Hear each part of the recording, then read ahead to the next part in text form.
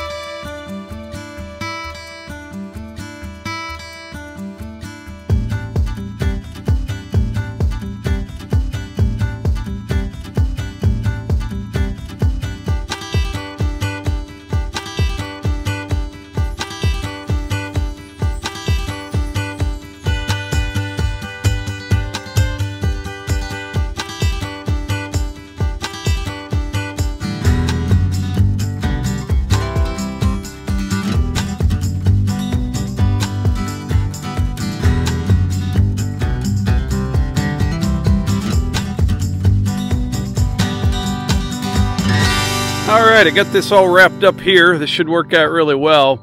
Uh, I kind of went over this the other day in a video, so I'll give you the short version now.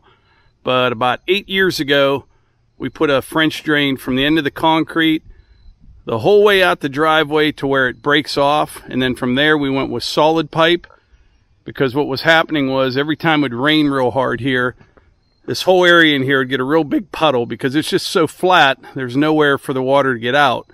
So that took care of that. It worked for uh, eight years so far, still working good. And by the way, I did not wrap that drain in cloth. I don't like doing that. I like to just fill it up to the top with stone. Works well for me. But anyway, we had that taken care of.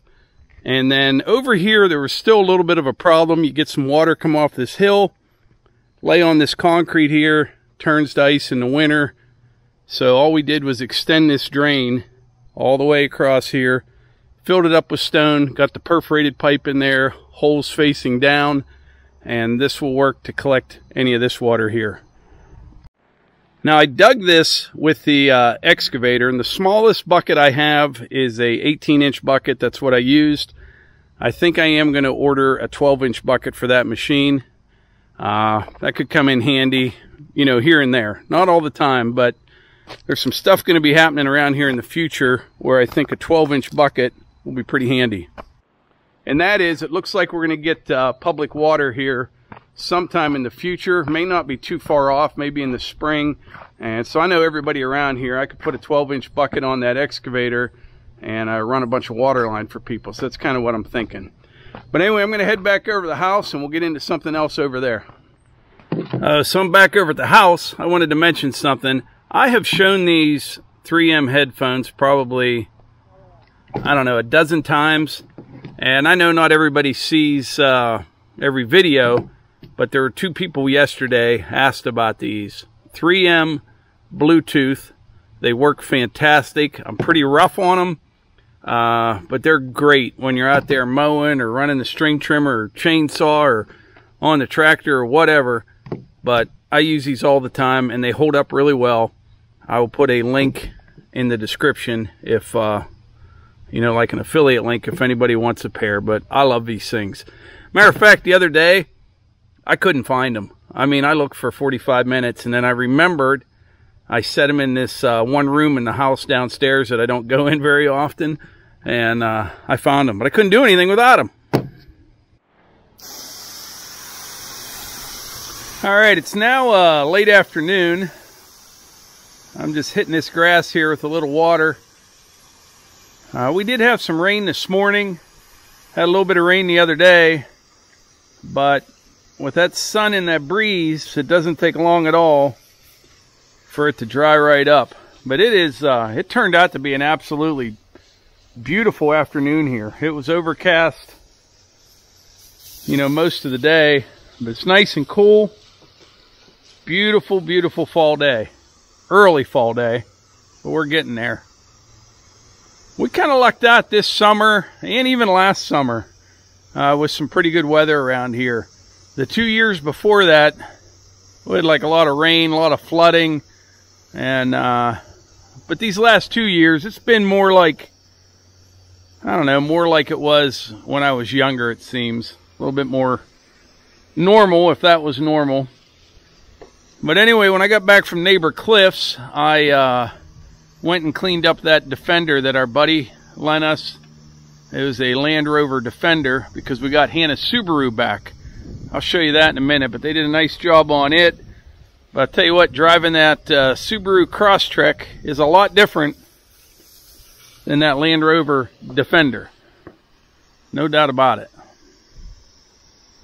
All right, so here's a look at the uh, Subaru Crosstrek. Hunter's inside right now waiting to go somewhere. Uh, but if you remember, it had some damage right here on the front end uh, from when Hannah hit the deer. That's all fixed up. And then around back here, the whole back gate was damaged from uh, when Melissa backed into it with the Jeep. It was parked right behind the garage door there, and she left to go to the gym early. And the only part of this back that wasn't damaged was this back bumper, this whole big piece right here. But the day of the wedding, or maybe the day before, I don't know, but Hannah had wedding brain and she backed into the tire on the MX 5400. But we got everything fixed up, looks good. And tomorrow night, I'm going to meet Hannah halfway and uh, we're going to swap out and I'm going to get my F-150 back. Can't wait. All right, so it's been another beautiful day today and walking over here.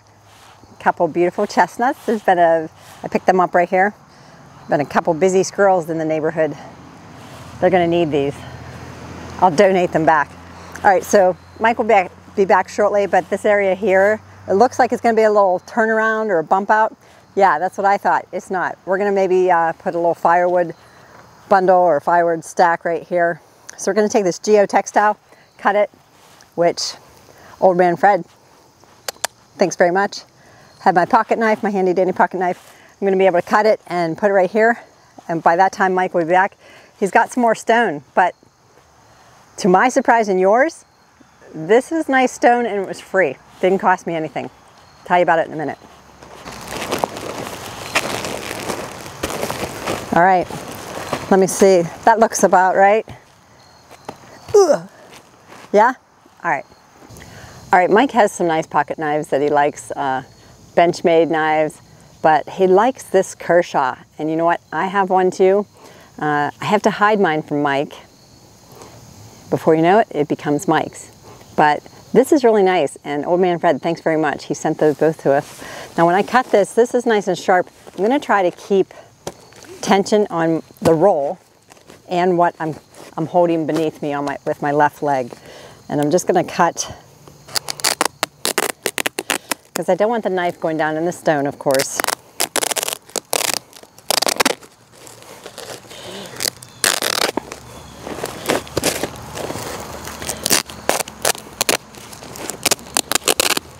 So it's kind of like chewing it. I'm sure you all have several comments with all the correct opinions that's out there. I'm going to get this down before Mike gets back and says something about it.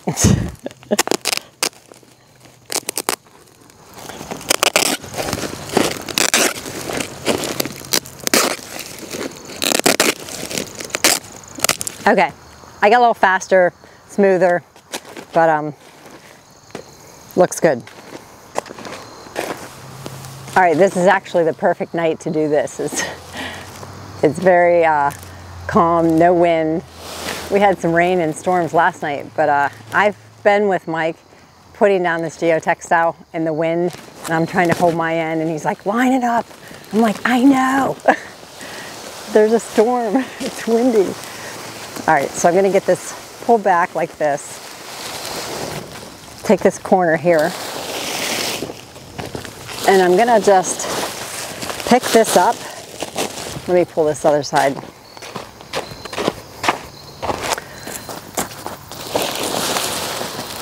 Okay. So now, yeah, so All right, I'm gonna bring this over and pull this stuff already here up some and tuck it in like so.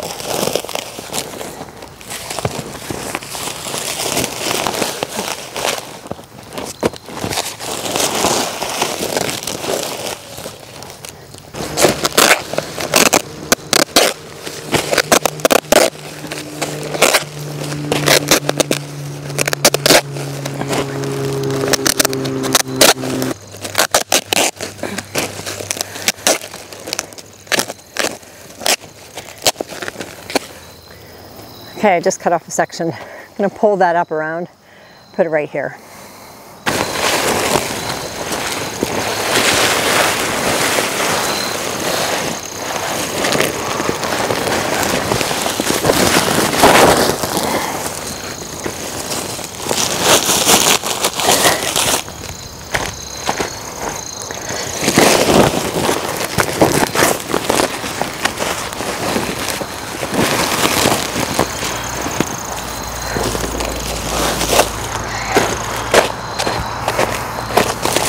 All right, just gonna lift and tuck, you know, lift and tuck.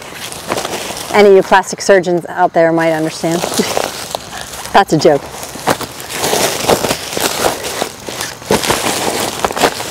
Okay. All right. All right, now I'm gonna get a shovel and put some stone on this to hold it down. And uh, Mike should be back and be able to help me with the rest.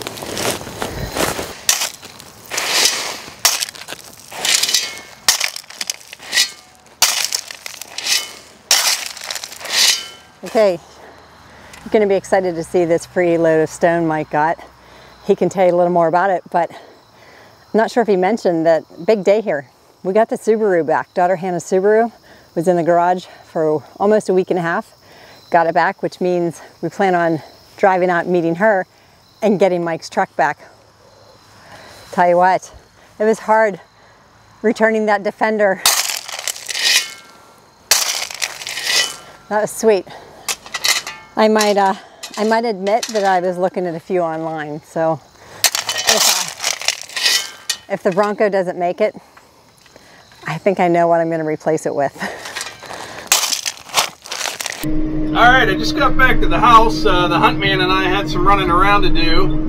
And Melissa put some geotextile down for me up there by the building. And I'm headed down here to check out this stone uh, that my buddy Adam dropped off today. I haven't seen it yet, but from up by the house, it looks pretty decent. We'll get a better look at it when we get closer here. But he was working on a uh, parking lot job and had to get rid of some limestone a couple miles from here. And so he brought it out here, but yeah, it looks pretty good stuff. And the price is right.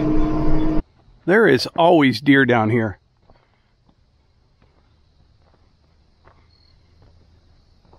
See that doe and that fawn right there? It's only about uh, 25 yards from me, right there. Now, if this were hunting season, it'd be a completely different story. But they're just kind of checking me out there.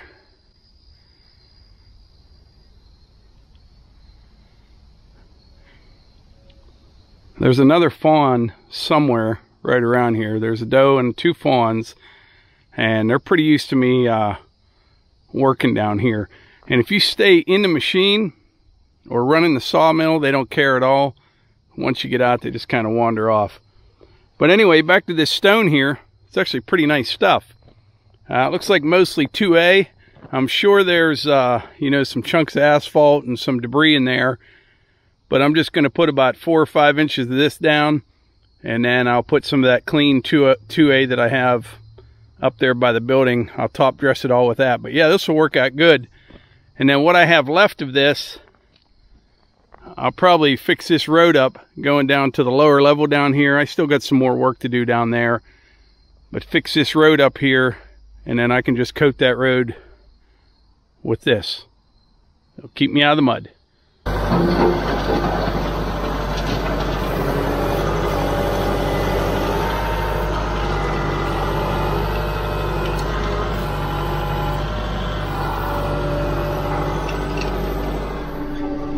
So as you know, this time of year it's starting to get uh, darker earlier. And what's happening is I keep going to bed a little bit earlier, which that's okay, but that means I wake up earlier and earlier. So I need to uh, kind of get a hold of that situation. This morning I was up for the day at 3.30 a.m. Uh, so tonight I'm going to try to stay up a little bit later.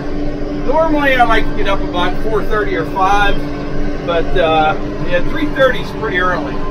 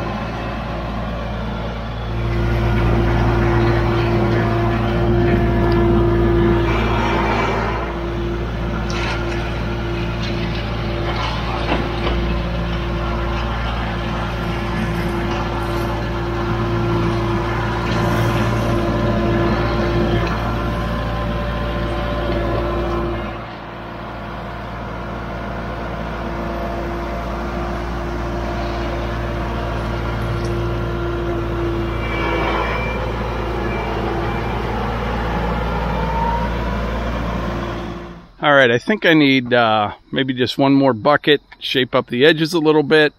But I don't know if, uh, yeah, I think we told you. I think I'm going to put like a nice firewood rack right there.